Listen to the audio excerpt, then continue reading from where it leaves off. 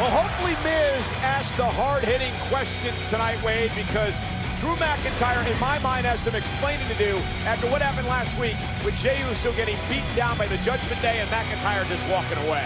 Well, the mood McIntyre has been in of late, I'm not sure that Miz implying he may be a coward or indeed doing an absolutely dreadful Scottish accent was the best way to introduce the Scottish Warrior. But here we are, and we're about to get the answers we've all been waiting for. I don't think I'd be a smart ass to anybody carrying a sword.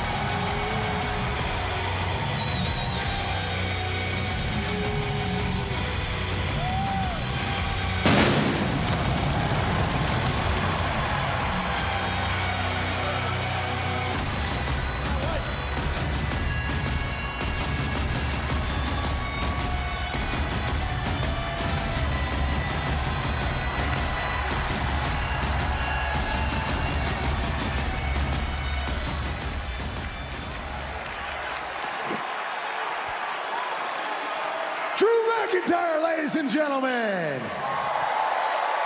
I see you got a lot of pent up frustration, and I want you to take all that frustration out on Kofi in your match tonight. But I want you to know this is an open, judgment free zone for you to speak freely.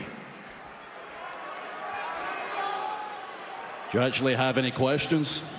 This, let me, let me explain something. I, I'm on your side. I commend you for throwing Jey Uso to the Wolves. I would have done the same thing. I repeat, I would have done the same thing.